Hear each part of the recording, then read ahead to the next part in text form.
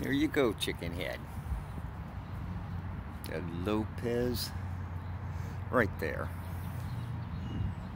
In chicken head.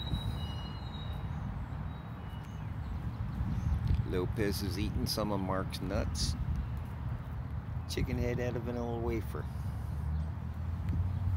Yep, here comes here comes Lopez. Come on, Lopez. You want a wafer you want some of these nuts? oh, I scared her when I coughed.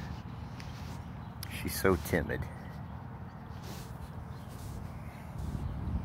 But she knows she trusts me. She does come up to me. She runs from everybody else. Well, come on, Lopez.